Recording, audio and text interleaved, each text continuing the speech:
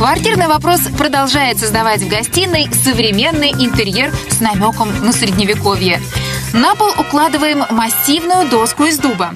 Плюс такого натурального напольного покрытия в том, что оно никогда не будет холодным.